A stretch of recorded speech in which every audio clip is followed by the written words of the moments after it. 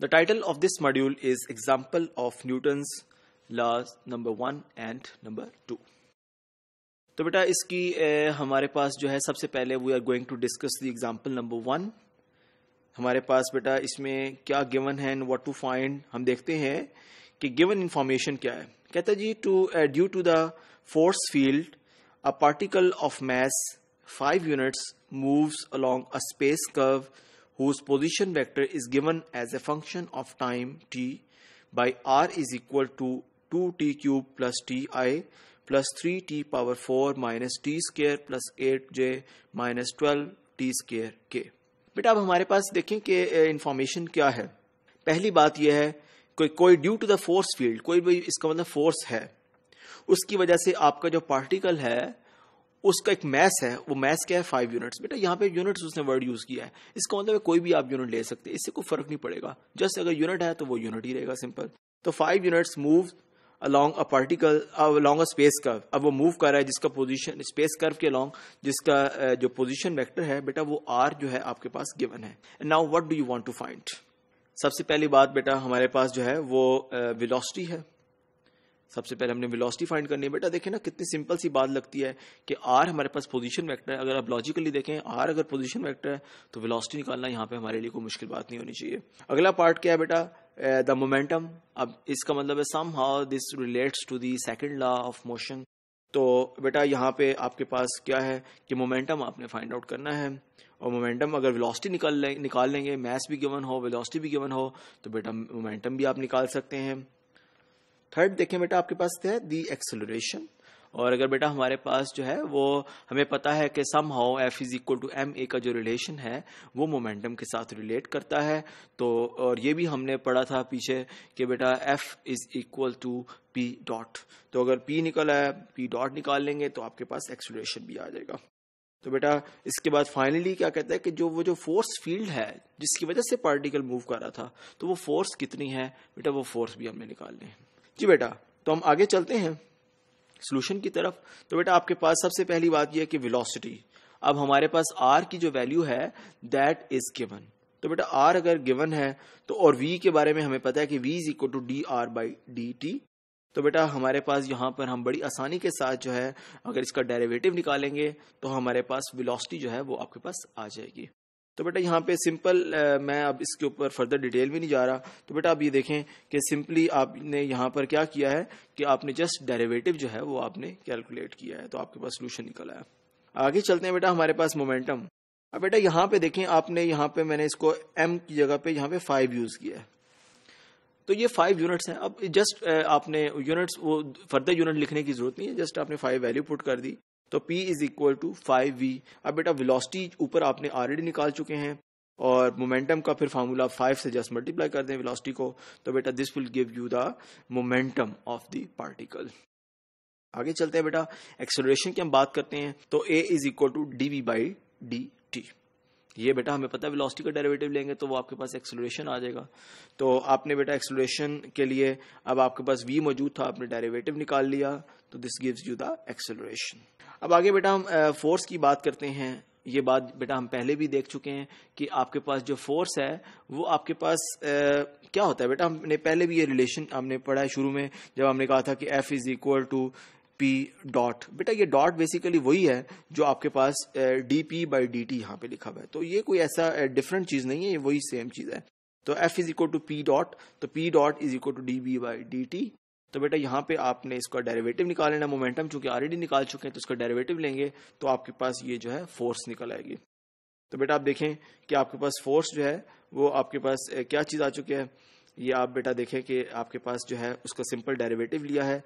You get the required answer so this is the end of this example आगे बेटा हम चलते हैं एग्ज़ाम्पल नंबर टू की तरफ़। बट एग्ज़ाम्पल नंबर टू में हमारे पास क्या चीज़ गिवन है? कहते जी पार्टिकल ऑफ़ मैस टू बेटा, यहाँ पे भी आप उसने सिंपल टू कह दिया अब आप कहेंगे, मैं टू का क्या मतलब है? बेटा टू के साथ कोई भी यूनिट हो सकती है। अब ये उसके ऊपर डिपेंड करता है आथर के ऊपर कि वो जो बुक वाला है, जहाँ से हमने ये एग्ज़ाम्पल लिया है तो वो अगर चाहता तो यहाँ पे आपके पास मैथ्स में कुछ भी ले सकता था। उसकी कोई भी यूनिट जो है, वो कंसिडर कर सकता था। तो लिहाजा यहाँ पे ऐसा कोई मसला नहीं, आप सिंपली उसको टू कह सकते हैं। तो बेटा particle of mass two moves in a force field depending on time T given by F is equal to twenty four T square I plus thirty six T minus sixteen J minus twelve K आगे बेटा क्या कहते हैं? कहते हैं जी assuming that at T is equal to zero the particle is located at R not and has the velocity V not बेटा वो particle जो है वो मूव uh, करता है। अब आगे वो कहता है कि बेटा ये इंपॉर्टेंट इंफॉर्मेशन है। इसको आप इग्नोर ना करें। आर नॉट और वी नॉट इसकी वजह यह कि जब हमें अगर पार्टिकल मूव कर रहा है, अगर एफ़ गिवन है, अब यहाँ से सम हो अगर हमारे पास रिलेशन निकलता है आर का, या रिलेशन निकलता है वेलोसिटी का तो ये तो इनिशियल कंडीशन है। तो ये इनिशियल वेलोसिटी या इनिशियल जो पोजीशन है, वो उसकी गिवन है।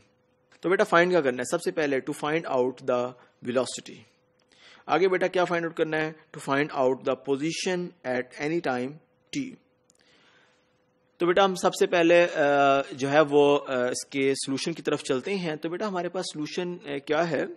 में सबसे पहले हमने वेलोसिटी चूँकि फाइंड आउट करनी है तो बेटा हमारे पास पता है हमें फोर्स अब गिवन है तो और हमें यह भी पता है F is equal to M A है, और एम की वैल्यू भी जो है वो हमें पता है दैट इज़ टू तो लिहाजा बेटा F is equal to two times D V by D T तो बेटा यहाँ पे हमारे पास एफ़ जो है वो हमें हमें ऑलरेडी मौजूद था हमारे पास, लिहाजा हमने ये एक्सप्रेशन यहाँ पे लिख दिया। तो ये बेटा हमारे पास क्या चीज़ बन जाएगी? D V by D T क्या बन जाएगा? D V by D T is equal to this relation ये आपके पास आ गया। मैं इसको रिपीट नहीं कर रहा।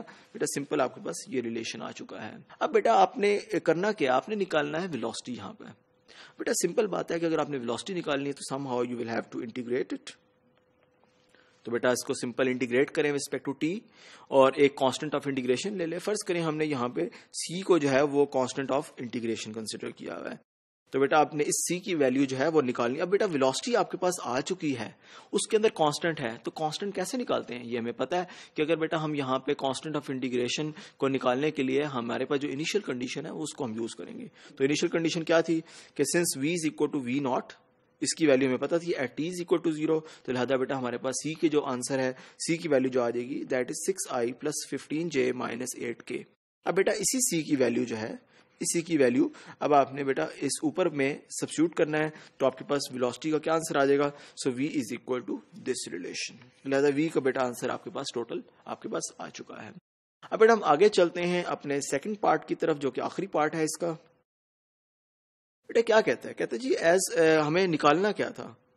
अब आप देखेंगे कि हमारे पास बेटा इस केस में गिवन क्या चीज़ है और पोजीशन हमने बेसिकली उसकी जो है, वो हमारे पास गिवन भी मौजूद थी। तो हम फर्दर आगे इसको लेके चलते हैं चीज़ों को। तो बेटा हमारे पास वेलोसिटी वेक्टर जो है, वो यहाँ पर हमारे पास पता है हमें क्या होता है? V is equal to D R by D T और बेटा हमारे पास वी की जो वैल्यू है, वो हमारे पास ऐसा अब फाइंड आउट कर चुके हैं ऑलरेडी पीछे। तो उसके बाद हमने इसको सिंपल इंटीग्रेट किया। तो हमारे पास जो है, वो उसकी पोजीशन बेटा हमारा क्वेश्चन ये था कि पोजीशन निकालनी है टाइनी टाइम टी और एट एनी टाइम टी की अगर हम बात करते हैं तो इसका मतलब है कि यहाँ पर हमारे पास जो है वो अगेन uh, हमारे पास अगर इसको इंटीग्रेट करेंगे और हमारे पास एक कांस्टेंट ऑफ़ इंटीग्रेशन आएगा तो इसके बाद हमने उस कांस्टेंट ऑफ़ इंटीग्रेशन की जो वैल्यू है वो उसको निकालनी है। तो बेटा हमने देखा कि हमारे पास आर की जो वैल्यू है वो R is equal to R not की जो वैल्यू है वो गिवन है that was three I minus J plus four K at T is equal to zero अब बेटा, अगर इस वैल्यू को अगर हम यूज़ करें तो हमारे पास जो है, वो सी वन की जो वैल्यू है, वो आपके पास आ जाएगी। अब बेटा, अगर आपके पास सी वन की जो वैल्यू है, ये कांस्टेंट ऑफ़ इंटीग्रेशन है। इसकी वैल्यू अगर आप निकाल चुके हैं तो फाइनली आप उस एक्सप्रेशन में सब्सिट्यूट करेंगे तो आपके पास ओवरऑल जो है, वो पोजिशन वैक्टर निकल आएगा एट एनी टाइम टी तो इस तरीके से बेटा, आपका जो एग्ज़ाम्पल है, वो आपकी कंप्लीट हो चुकी है। And this is the end of the module thank you very much